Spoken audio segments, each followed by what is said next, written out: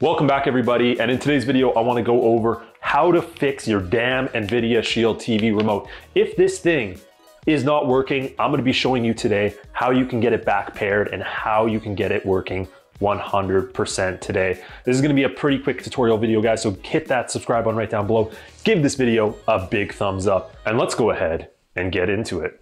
Okay, so we're gonna go through a few different ways to fix your Shield remote. Now this first part of the video is only gonna work if you can actually still use your remote, but you're experiencing problems with it. If you continue on and watch the rest of the video, you're gonna see at the end some methods if your remote is not working at all. So the first thing we're gonna to wanna to do is scroll over to settings in the top right. That is the gear. Now this is a setting nobody ever goes into, and that's remote and accessories.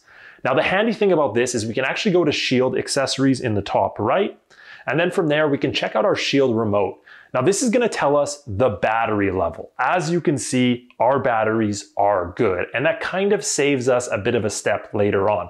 So you're able to check and see your batteries are good for a long time.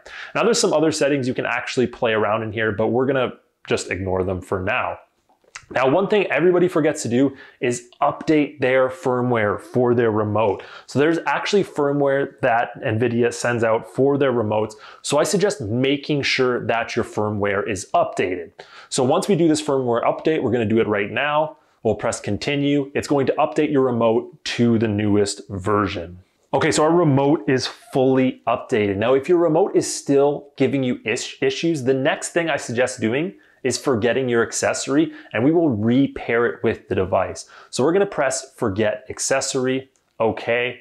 And now you're gonna see my remote no longer works. So the way to solve that is to, it actually auto pairs when we click around. So as you can see, it auto connected, but there is other ways to pair it. So either way, our Shield remote auto connected. So that kind of solves that issue. So if you need to connect, another way to pair it is from what I've heard, just holding down the select button. So this middle button, um, I haven't had a chance to try that because it always auto pairs, but if you buy a new remote, that's how you're gonna set it up and pair it. Okay, so now that we're done with those steps, we're gonna do some physical stuff on the remote in order to try to get it to work, and these are button combinations.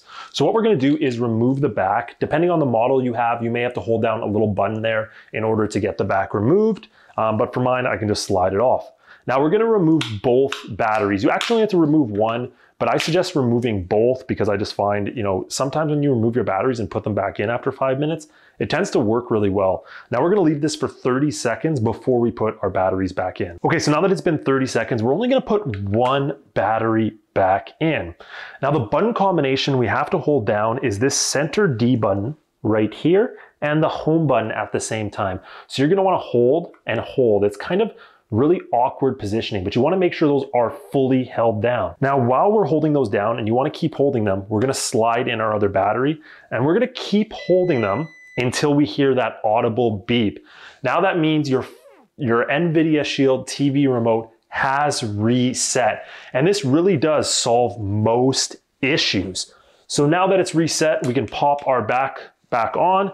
You can test it out and you can see we're able to move along through our shield. So those are the methods to getting your NVIDIA Shield TV remote working. Now let's go over just one other thing you can do if your remote is still not working at all. All right, so let's say none of those steps work. This is really the last thing you can do.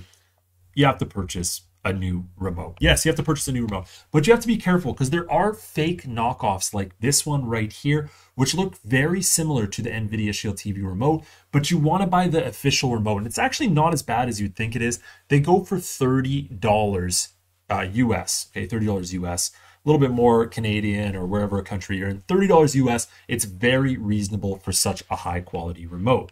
Now, if you enjoyed this video, make sure you check out this video here where I show you the best settings for your NVIDIA Shield. I'll see you in the next one.